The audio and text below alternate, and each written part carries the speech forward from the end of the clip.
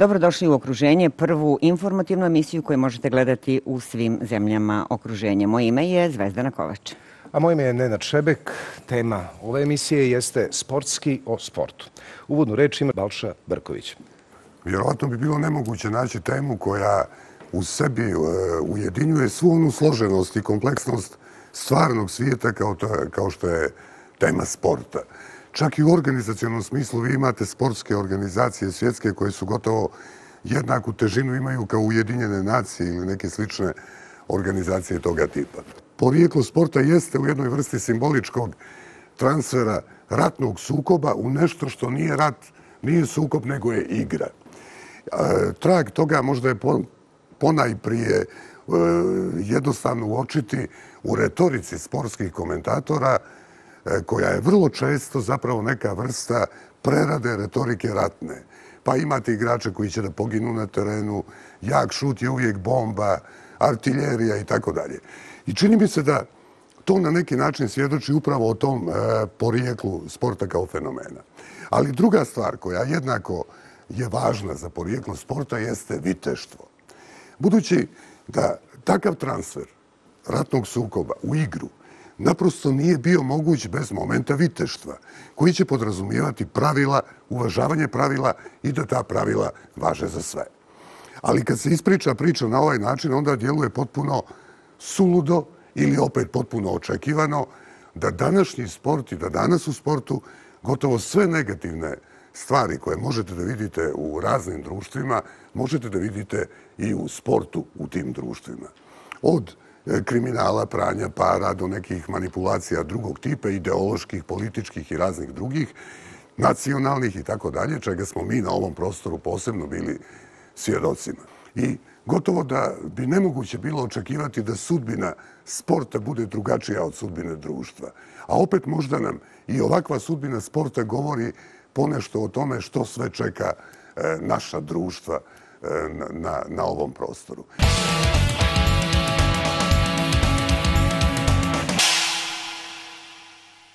Dobrodošli su želimo Mijedragu Perunoviću i Hrvoju Prnjaku, novinaru. Također i Predragu Pašiću i e, Nenadu Borovčaninu, aktualnom bokserskom šampionu.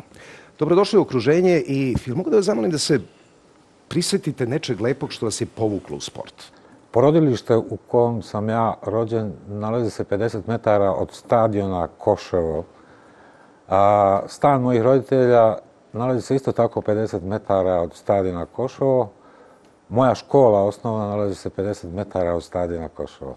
Moj život je u stvari proveden na stadionu Koševo i moji snovi, prvi snovi dječački vezani su za futbal. I tako je to počelo, sanjajući na stadionu Koševo. Ne vi?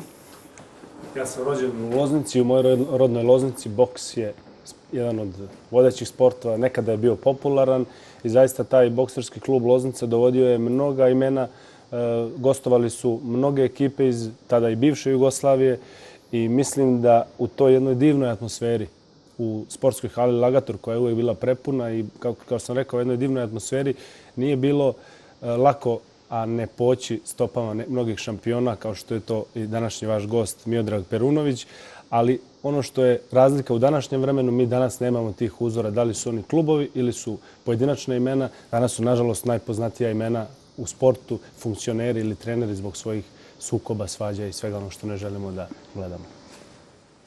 Mi odreže.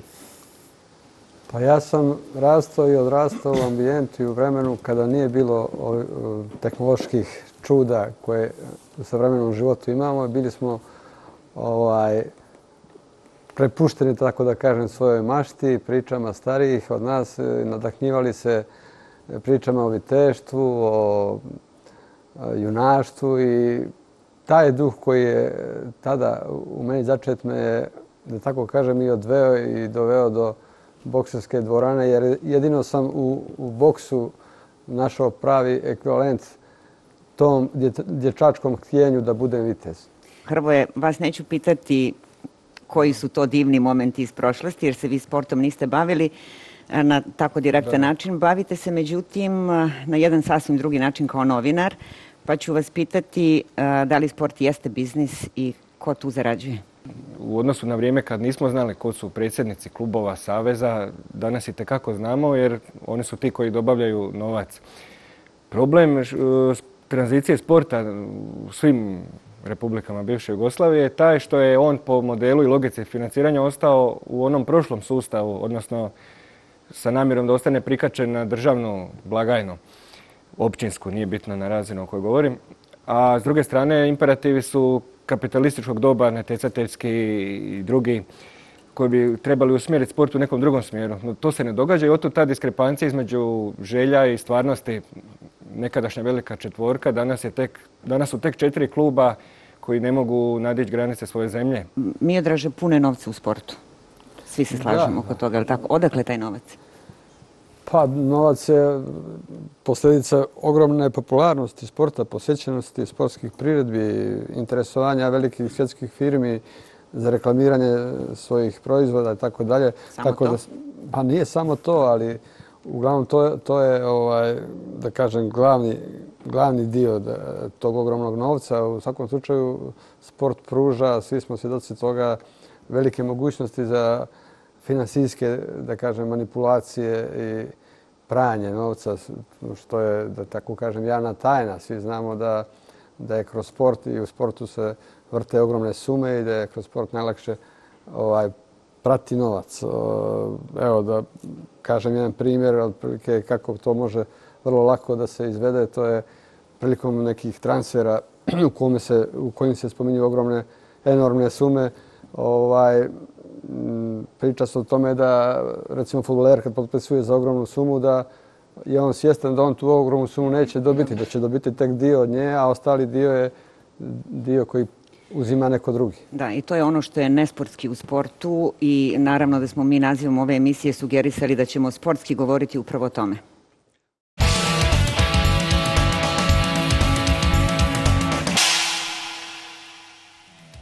Što se tiče situacije u sportu, mislim da kao cijela generacija imali smo prilike da odrastamo u vremenima kada, koja su zaista bila teška i kada je sport bio jedini izlaz iz surove realnosti, kada su sportisti bili nešto u što smo se ugledali i kada su njihovi uspesi bili, da kažemo, i naši uspesi.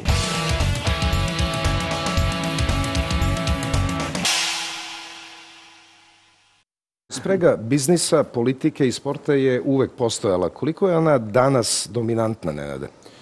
Ona je uvek je dominantan novac. U 21. veku živimo i bez novca se ne može ništa ni organizovati kvalitetno. Međutim, novac ne sme da bude nešto što će se, što će se raditi sa novcem iza nekog kulisa, već novac treba da pomogne sport. Gde god se vrti veliki novac, tu dolazi automatski i do pranja novca. Ima li pranja novca u današnjem sportu? Pa naravno da ima.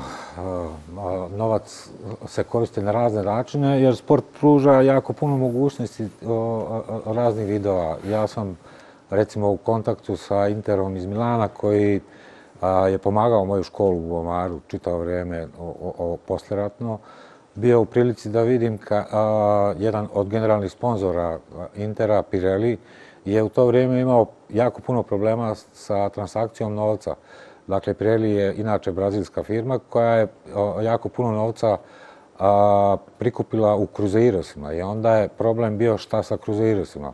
Tada im je palo na, pamet da kupe Ronalda, brazilskog igrača, kom je transfer pretvoren u stvari njemu plaćen u krizoirosima, a sljedeća prodaja je bila u eurima i tako je Pirelli svoj novac obrnuo iz jedne, ovaj, devi, iz jedne devize u drugu.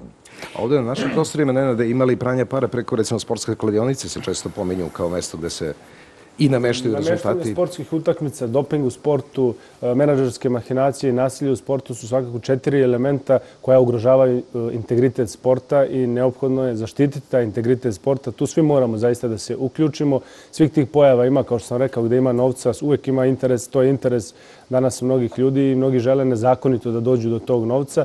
To je jedna pojava protiv koje moramo da se borimo i da zaštitimo tu vrstu kriminala koja se pojavljuje u sportu i da zaštitimo pre svega integritet sporta zbog budućnosti naše dece i naših, naše omladine.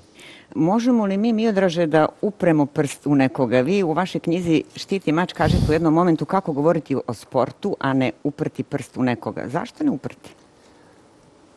Pa zbog toga ja, ja se ne plašim da, da uprem prstu nekoga, ali pravo da vam kažem, život me naučio iskustvo moje proveden 40 e, godina u sportu, da, ovaj, nažalost, malo toga rečenog e, na taj način najlazi na dobar prijem ili, ili se može bilo šta promijeniti. A u svakom slučaju, ja sam kad sam to napisao, bio daleko želja da, da, da bilo koga na taj način prozovem i da ga prst u oko da mu stavim, jer jednostavno, a, kao što rekoh, imao sam u vidu to da mislim da ništa neću promijeniti, ja samo ću napraviti problem. To, to bismo mogli nazvati nekom linijom manjeg otpora. Recimo, Hrvoje, vi jeste uprli prst u oko.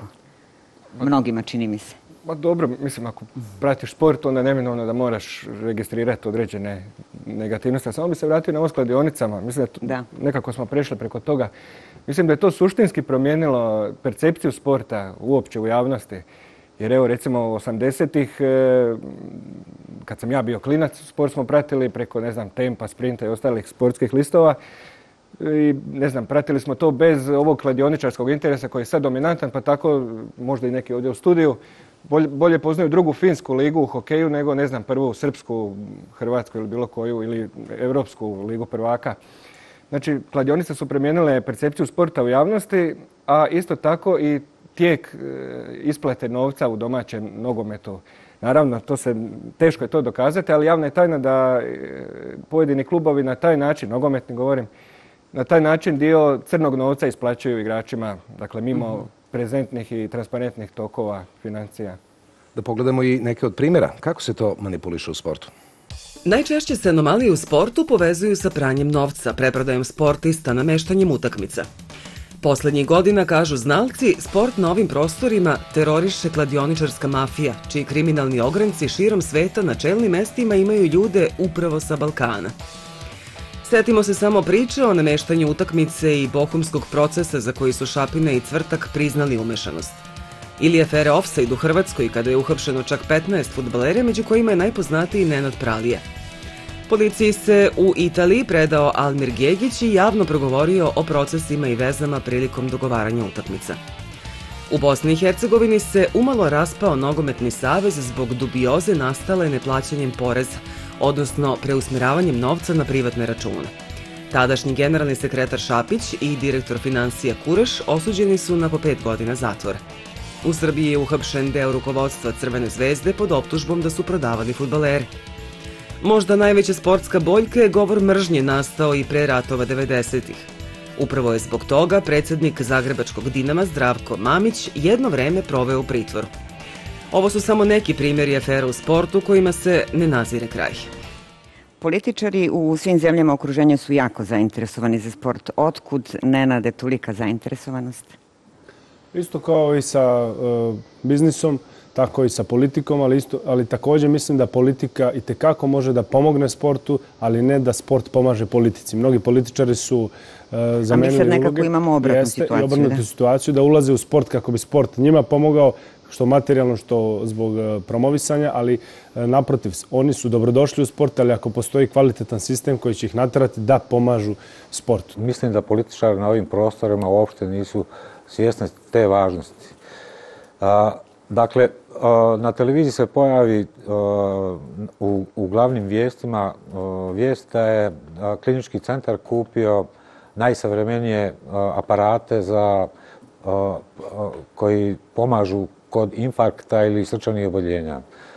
Dakle, u državi u kojoj se manje od 10% stanovništva bavi ovaj, sportom, logično je da, da će biti jako puno infarkta ili srčanih udara na koje država ne zna da odgovori i ne zna da shvati i ne želi da shvati da je sport najbolja preventiva zdravstvena, gdje ukoliko imate zdrav narod u jednoj državi, ovaj sigurno će biti jako a, manje potrebe za kliničkim, za skupim aparatima i svim ostalim. A da li postoji način da, da izvolite? Oprostite, pa da. samo e, mislim da nije niko, da je malo ko zapravo načisto na ovom prostorima, na ovim prostorima oko toga što je zapravo ulaganje u sport. Je li to ulaganje u profesionalne klubove, u njihovu infrastrukturu i njihove kadrove, ili je to e, omasobljenje sporta? Jer e, kad pogledate broj e, izgrađenih dvorana, bazena, na koncu konca i novih škola, onda ćete vidjeti da je ulaganje u sport i dalje samo fraza na razini dobre volje. Jel? Jer kad naši sportski dužnosnici, funkcioneri kažu treba ulagati u sport, onda oni misle da im treba dati lovu njima da kupe nekakve nove dobre igrače u košarci, Amerikance, u nogometu, Brazilce, nije bitno. Ja, dakle, to je ta suštinska razlika s kojom nije raskrstila ni jedna od bivših jugoslavenskih republika.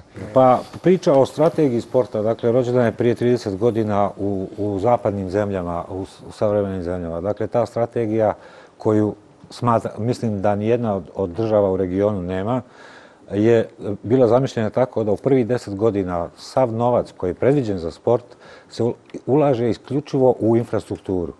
Pa je deset godina u Evropi su građeni za taj novac koji je odvajan iz budžeta, građeni su stadioni, građeni su igrališta, dvorane i sav novac je bio usmjeren u tom pravcu. U sljedećih deset godina je zamišljeno da se sport omasavi, onda se ulagalo u, u edukaciju od trenera, osnivanje klubova i, i stvaranju masovnosti. Da bi u trećoj fazi u kojoj se sad sport nalazi u Evropi, bila faza eksplozije u kojoj je sport postao fantastično mjesto za ostvarivanje biznisa, u koje imamo jako puno sportista i sport koji je onakav kakav bi trebao biti u svim državama. Nažalost, u našim državama ne postoji nikakva strategija i onaj, sport, onaj novac koji se troši na ovim prostorima troši se na, na sasvim pogrešan način. Dobro, govorite za Bosnu i Hercegovinu, u Srbiji, u Crnoj Gori.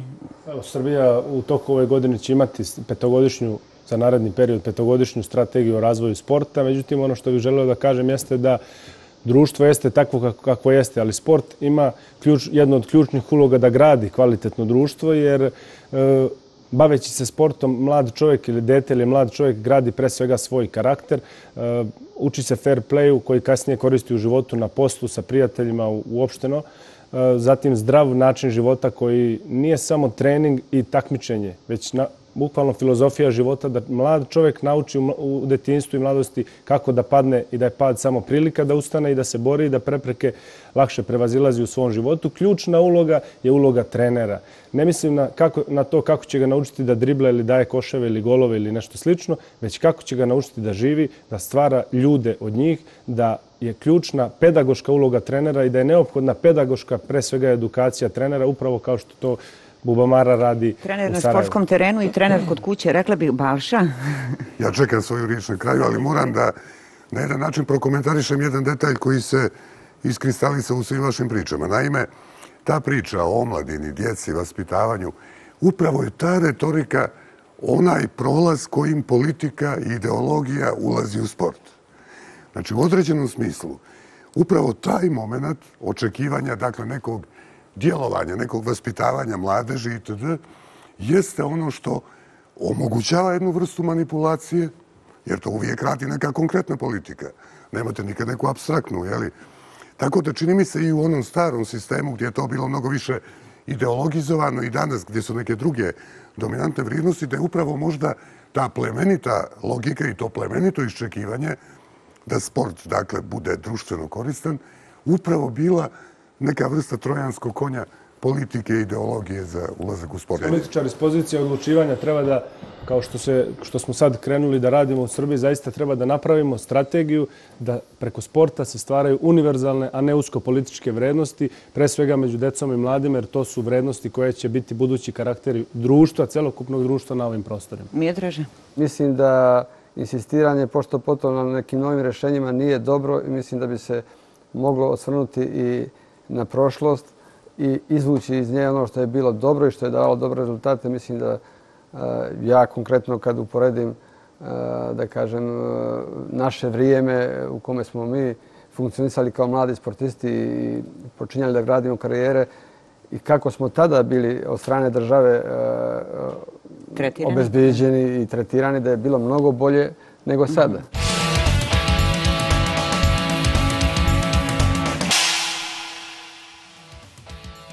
Postavlja se pitanje zašto je uopšte potrebno raspravljati na temu sportski o sportu. Ono što je nesportski jeste što se sport od strane šire javnosti sve više percipira kroz nasilje, politiku i novac.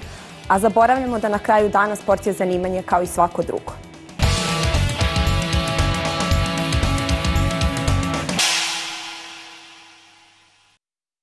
Nakratko da vratim samo na pedagogiju. Predraže, kod vaših u Babamari, je li im proveravate ocene na tromeseči na polugodištu i šta se događa sa onima koji... Pa tu imamo jako pozitivno jako dobro iskustvo.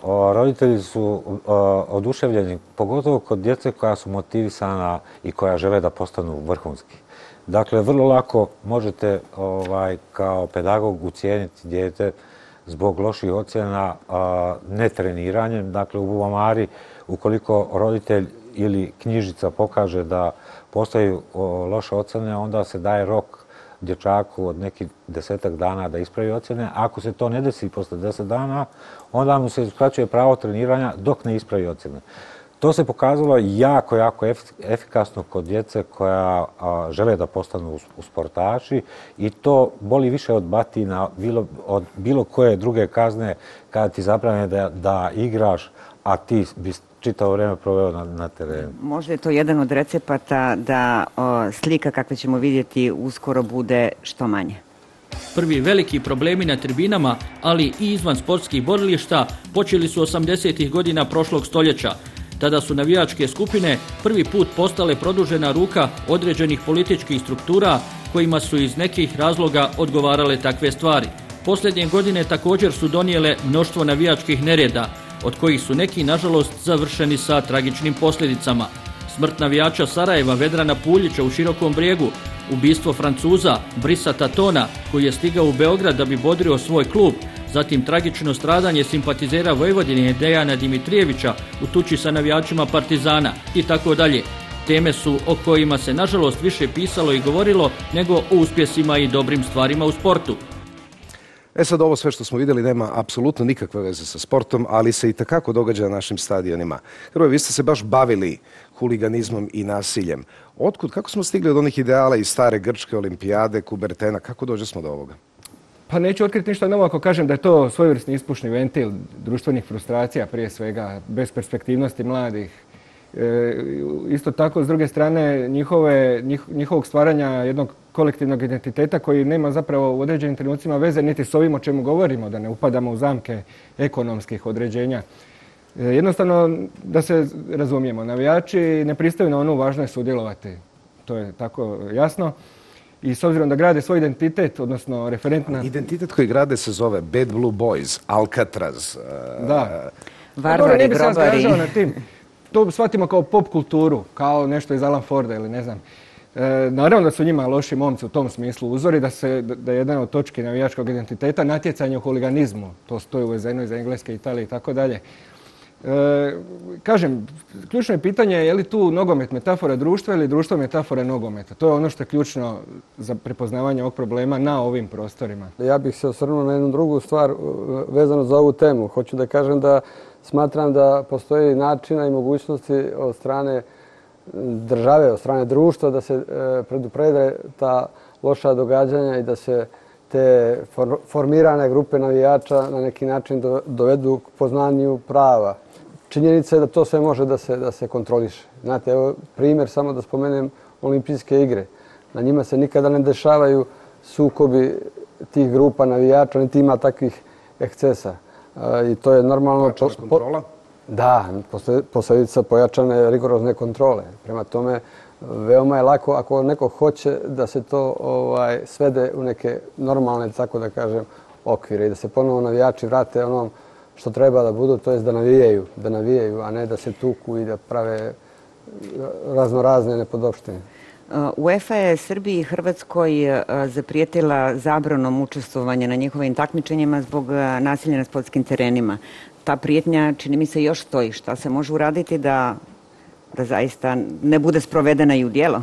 Evo, Srbija je formirala Nacionalni savez za borbu protiv nasilja u sportu kojim predsedeva sam premijer Ivica Dačić, što govori da postoji politička volja, formirana je radna grupa koja svakodnevno zaseda i uskoro će ugledati e, jedna nova strategija Svetlost dana, gde će tužioci sudija biti prisutni na terenu, maltene će izgradnici odmah se seliti u zatvor sa svojim kaznama. Da li to što je potpisao Ivica Dačić zaista govori da se radi o političkoj volji? Naravno, jer formirano je, kao što sam rekao, svakodnevno zaseda radna grupa i na tom problemu se ozbiljno pristupilo. Evo, čuli smo da u Srbiji postoji politička volja. U Hrvatskoj? Ma, e, slušam baš pažljivo. Ovaj, e, naime šta, kad se god dogodi nešto ovako strašno ili ispadi šovinizma ili huliganizma, onda se uvijek govori o nekim radnim grupama, o novim zakonima. Međutim, ja sumnjam da tu postoji iskonska politička volja da se to riješi. Mogu samo špekulirati zašto, ne, ne bih sad neke teorije urota tu razvijao. Jednostavno, vlasti kao da žele imati tu navijačku, taj navijački bijes kao nekakvog psa na lancu kojeg će oni puštati po potrebi. Jer e, zakon o sprečavanju... Kojeg će po potrebi koristiti. Pa, u manipulativne svrhe. Zakon o sprečavanju nereda na sportskim borilištima je donesen i u Hrvatskoj i u Srbiji. Međutim, e, kažem, sve se to može kažnjavati po nekim drugim točkama zakona, od širenja mržnje i tako dalje i tako dalje. Tako da kad bi stvarno postojala istinska volja da se to riješi, to bi se riješilo i u Hrvatskoj i u Srbiji. Još sam, e, još sam ovaj skeptičniji kad je u pitanju Ivica Dačić ne zbog njegove osobnosti, nego zbog njegove policijske prošlosti. Pitanje koliko će on ima senzibiliteta sada e, da to riješi, a da ne bude samo represija. I da ta politička volja bude zaista sprovedena i u dijelu. Zaista se radi na tome, jer kao što sam rekao, uključen sam u taj rad. E, ne samo e, represivne mere, već i mere koje su edukativne i preventivne E, će biti upotrebljavane za to i uključivaće se sami akteri sa terena koji će slati poruku već na narodnom derbiju Zvezda i Partizana i igrači i jedne i druge ekipe će obući majice protiv govora mržnje, slati poruke, tako da ćemo na različite načine zaista raditi kao što već i radimo. Dobro, ovo je posljednja emisija okruženja u ovom ciklusu maj i jun. Nastavljamo u septembru, pitaćemo vas šta se dogodilo umeđu vremenu.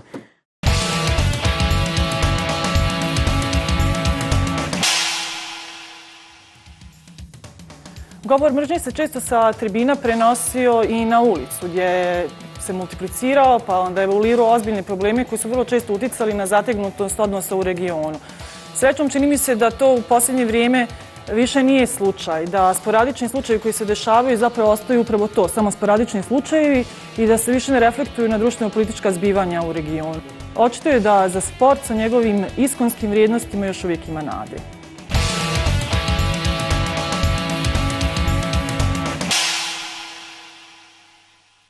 Evo, pomenuli smo Srbiju i Hrvatsku, ali ni Bosna i Hercegovina sigurno nije isključena iz ovakvih priča.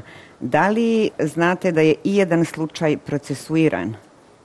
Dakle, slučaj nasilja? Da. U, u, u zadnjih, dakle, od samog nastanka Bosne i Hercegovine još nijedan slučaj nije procesuiran, a, a, a, a puno je bilo događanja koji su, ovaj, na kojima se to moglo učiniti. Dakle, Sigurno je, jasno je da je nacionalizam koji je najviše izražen u Bosni i Hercegovini i da se sport, naravno, je zatrovan tim od strane političara kojima odgovara takva situacija i sport je polje na kome se izražava nacionalizam i vrlo često se navijačke grupe koriste ovaj, upravo u tu svrhu ispred, ispred politike.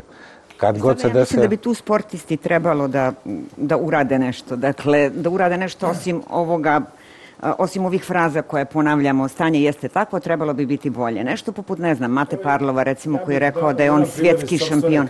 Da. Kada sam boksao neke mečeve, mojim, dok se intonirala himna mojim protivnicima, publika je zviždala, moja publika, mislim, e, uslovno moja sa tribina je zviždala. Već za sljedeći meč sam pripremio kampanju gdje sam e, e, snimio video poruku, a i sedam dana u svim konferencijama za medije, pozvao sve navijače da aplauzom pozdrave himnu mog protivnika, da tako ispoštuju ne samo njega, već i mene, što su oni uradili, na što sam recimo posebno ponosan. Dakle, te preventivne mere i edukativne mere i poruka od strane aktera sa terena je mnogo bitnija nego kad neki futbalski savez pošalje poruku poziv navijačima ili futbalski klub poziv navijačima. Ne, dajte aktere sa terena da oni pošalju poruku navijačima i da traže kako za njih da se navije. Yes. Da li bi predrže to možda pomoglo u Mostaru gde smatra se da je utakmica između dva lokalna mostarska kluba Velež i Zrinski događaj od najvišeg bezbednostnog rizika u Bosni i Hercegovini? Jel možda vidite futbalere Veleža iz Rinskog kako šalju jednu ovakvu poruku o kojoj ne odgovorim? Nažalost, u ovom skorošnjem vremenu ne. Ali nije samo problem utakmice uh, Velež Zrinski, dakle postoji problem utakmice Borac Željezničar, postoji uh, problem utakmice Sarajevo Zrinski. Dakle, to su sve ovaj, e, putevi nacionalizma koji se koriste od raznih dakle, korpusa a, od tri nacije koje se iskorištavaju u tu svrhu širenja nacionalizma, a sport je jedno od ljepših mjesta za upravo za tako nešto. Za tako nešto, da. U Crnoj Gori mi odraže nemamo e, Crvenu zvezdu i Partizan ili nemamo, ne znam koji su drugi konkurentski timovi, ali imamo publiku koja je po nacionalnoj osnovi prilično podijeljena i Da, pa nažalost situacija u Crnoj Gori je po tom pitanju manje više kao i ostalim republikama bivše Jugoslavije, tako nismo mi ništa u tom smislu ovaj, ni ispred, ni iza ostalih. E, dešava se to što se dešava. Ja bih se samo vratio e, i apelovao, da tako kažem, na, na ovu moju tezu da treba jednostavno pojačati kontrolu i pooštriti mjere kontrole i da bi to bio najbolji.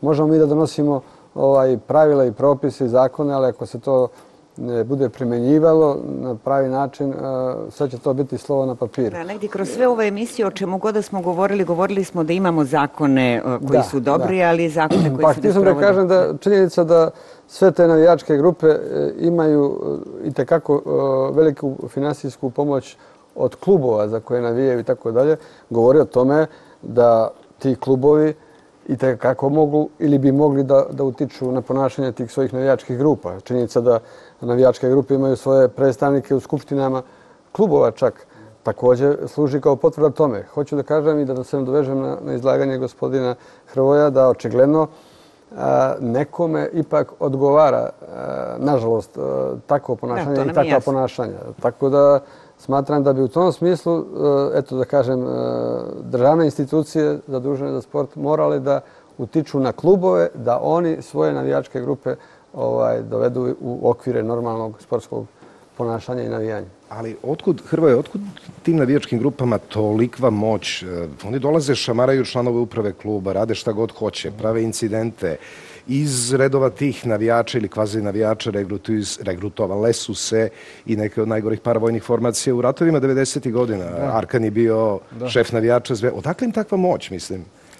Pa, očito je to ovaj dio koji se ne zna, jel? E, kažem, opet ne bih na teoriju urote, ali je li to povezano sa nekim e, obavještajnim miljevom, je li to e, pokušaj da, da, da li ih instrumentalizira određena politička struja, to možemo, kažem, samo nagađati, ali od primjera do primjera, da ne bi sad generalizirali. Ali ponekad ima utisak da se da klubovi donose odluke, da države donose odluke, da vlade donose odluke, strahujući od grupe navijača. To je točno, to je točno koji su ovdje u Beogradu, recimo, palili ambasade, razbijeli grad, nezadovoljni političkom nekom odlukom, ali su se identifikovali kao navijači. Da. Dobro, sad to otvara druga pitanja, stabilnosti građanskog društva, učinkovitosti pravnog sustava, bez obzira koja je zemlja u pitanju. Jer ako ne funkcionira pravni sustav u nekim drugim sferama, onda je teško očekivati da će i na tom području baš i baš tu funkcionirati. Ovo kad spominjete paljanje ambasada, to, to je jel, očigledan primjer političke zloupotrebe i ovo što sam govorio, dakle, koliko znam, to se nije dugo ni procesuiralo, jel? To je upravo dokaz toga da određeni mig tu postoji. To sad govorimo o Srbiji, može se i drugim, ne, drugim primjerima. Na ovim prostorima sport je odigrao jednu, od, bio je inicijalna kapisla jel, za razdvajanje i za sve sukobe koji su kasnije nastupili, ali e, kako mi zajedno možemo da uradimo, da radimo na tome da sad sport počne da povezuje te ljude. Kad nas sve zajedno poveže, upravo jeste, kao što je Mjedra govorio, uloga velika u klubovima. Jer evo, spominjate derbi u Mostaru. Uprave tih klubova, ako daju zeleno svetlo svojim igračima, oni će to da urade i da sednu zajedno, da popiju piće pre toga, da razgovaraju, da to prošetaju Mostarom zajedno, onda će na tribinama biti drugačije. A moraju ja uprave da pitaju lokalne političare pre toga? Da, to je još najključnije. E, šta sam da kažem? Kao što je Nelson Mandela rekao, sport ima ogromnu snagu. Može da razdvaja ili da spaja. U ovom slučaju govorimo o spajanju. Mislim da sport može da spaja ljude sa lakoćom kao ni jedna druga stvar na svijetu, ali isto tako da ih razdvaja. Zato je jako bitno da se ne samo treneri edukuju, već da se edukuju i ljudi u klubovima, da se korporacije kojih, odnosno e, kompanije koje ih finansiraju, kažu finansirat ćemo vas, ali po tim i tim uslovima jer želimo pozitivnu promociju, isto tako je neophodno i da svi ostali akteri pre svega mislim na državu da se uključi i da istu poruku pošalje, ali i slika, ono što mediji prenose je jako važno, jer ako vi na naslovnoj strani ili na, ili na dve strane u sportskoj rubrici stavite dva trenera koji su u sukobu i ne pričaju o sportu, već šalju jedni drugima neke ružne poruke, onda to nikog neće pozvati, nekako ne može promovisati sport.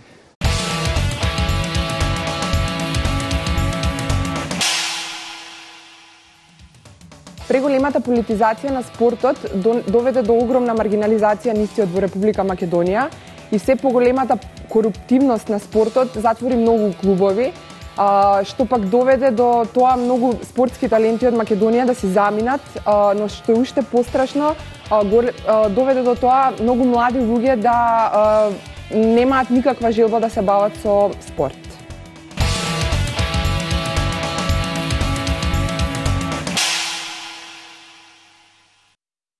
Upravo se igraju regionalne lige u više sportova. Košarkaška je najpoznatija, ali ni ona nije baš nešto previše zastupljena. Da li zato što nema u njoj problema? Postavlja se pitanje. Ja? Jer svaki izgred, svaki incident dobije puno veći prostor. E, igra se, ne znam, u ragbiju. Ima još puno sportova kojima se igra regionalna liga. Ja mislim da ljudi, većina ljudi to i ne zna u većini zemalja, jer nema incidenata i nema ovog naboja kojeg očito nogomet posebno ima po tom pitanju. Ja? Mijetriže? Pa evo, ja bih samo se nadovezao na ovu priču u tom smislu da kažem da smo svi svjesni da je sport, sport nije uzrok razdvajanja ili, ili tih nekih ružnih, nego je sport zloupotrebljen i on je bio, nažalost, sredstvo. Određeni ljudi i strukture moći su sport zloupotrebili upravo zbog toga što je sport e, djelatnost koja je i tekako popularna, koja se gleda, koja je posjećena i tako dalje. I kroz sport su, nažalost, ubačene mnoge ružne stvari i virusi koji su se kasnije koji su kasnije metastazirali. Ja bih samo iskoristio priliku, ako mi dozvolite, da u tom smislu pročitam jedan citat iz, iz moje knjige ovaj, gdje sam citirao Fjodora Mihajlića Dostojevskog i koji najbolje po meni govori upravo o, o ovoj stvari o kojoj mi pričamo, o, o razlici onoga što bi sport trebao da bude i do čega je sport doveden i kako je zloupotrijebljen i, i samo u što se, u što se i, pretvorio. I da kažemo samo našim gledalcima da se knjiga zove Štit i mač. Vi ne možete zamisliti kakav bol i sržba vas obuzimaju kad veliku ideju koju odavno i visoko poštujete dohvate nevješti ljudi i izvuku je na ulicu pred glupake kao što su i sami.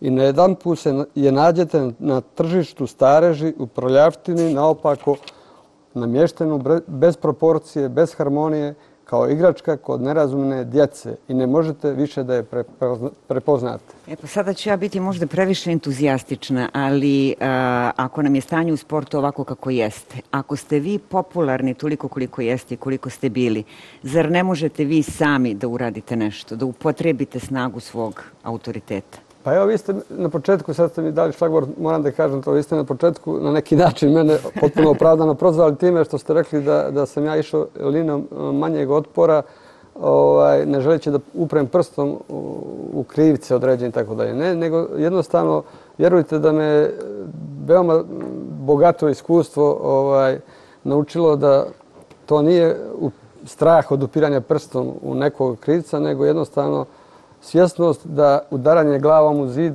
ne bi promijenilo ništa sve što bi se moja glava slomila. Jer objektivno, ja sam svjestan, mislim i kolege moje, evo, da, da objektivno mi, mi veoma malo možemo i, i ne možemo ništa da uradimo, a po, pogotovo zbog toga što nas niko, pravo da kažem, i ne pita ništa. Evo, mene konkretno u Crnoj Gori, mogu slobodno reći, ovaj, po tim pitanjima niko ne pita ništa. Nisam vas ja naravno da, nisam vas ja naravno napala, nego mora da ima rješenje. Ne zamjeram ja najmanje. Ovaj. Očigledno i pitaju i nešto konkretno i radite.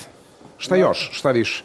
E, naravno, ja sam e, e, gledao na demokratiju pre nego što sam se uključio u politiku kao nešto, ili će ljudi vladati sa mnom onako kako oni žele, ili ću se ja uključiti i dobiti, dobiti ono šta zaslužujem, pa makar i moja glava pukla. Ovaj, naravno, uključio sam se, za sad uspešno plešem po ovom jednom novom ringu. E, problem su mi problemi mladih i društva. Je li i... više podmetanja u tom novom ringu? Pa ne, ne, svugde ima podmetanja, ali ja sam fokusiran na cilj i fokusiran na sprovođenje svog plana.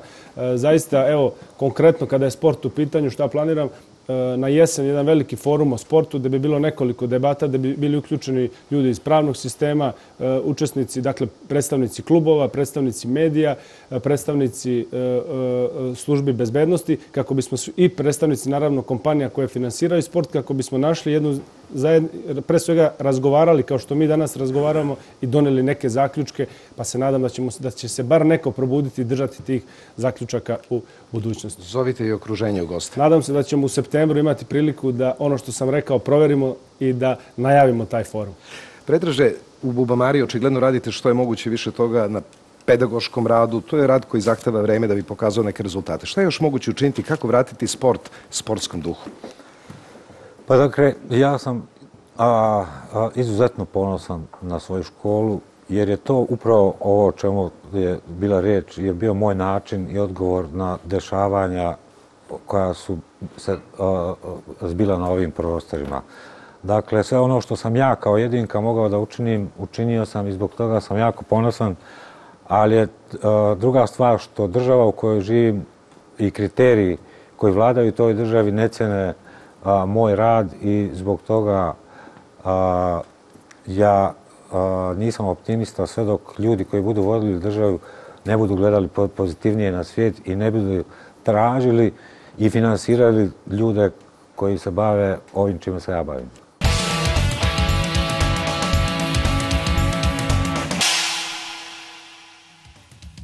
Kada se govori o sportu, nekako kao zaključak uvek ostaje da država treba da rešava probleme koje se tu dešavaju, počevši od kriminala i korupcija, nameštanja, pa sve do, onih, do onog mikronivoa, odnosno uključivanja mladih u sport. A nekako smo svedoci da čega god se država uhvati u našem regionu, postane nekako nedorečeno, traljavo uređeno, neefikasno i na koncu čak poveća se ta neka korupcija i, i ti, ti problemi. Tako da je možda rešenje i negde drugde.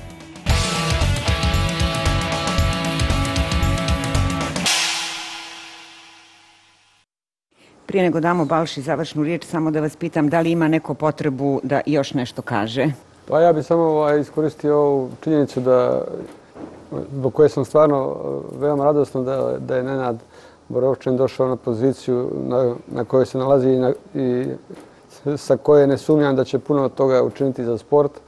Volio bih da se tako ovaj, i u Crnoj Gori i u ostalim republikama rešavaju stvari, da se postavljaju pravi ljudi na prava mjesta, da se ne dešava kao što se dešava već godinama unazad kod nas, barem u Crnoj Gori, da nažalost e, sportom rukovode ljudi koji nemaju mnogo veze sa sportom i treba da rešavaju pitanja sa kojima jednostavno nisu na pravi način upoznati i nadam se da će se u tom e, smjeru stvari pokrenuti. Hrvaj. Vi ste malo prije pa vas je prekinuo kolega, htjeli ste citirati Matu Parlova, prepoznao sam što ste htjeli citirati. On je rekao kako mogu biti nacionalist, ja sam svjetski šampion. Da.